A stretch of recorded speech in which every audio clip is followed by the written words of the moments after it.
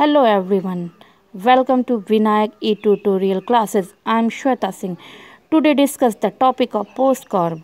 This topic related subject is sports management. POSDCORB introduction. Every business needs to have systematic framework in ensuring there is maximum output, minimum wastage and higher margin. POSDCORB is one such method in management where workforce and employees can be managed in a way which would be beneficial for a company.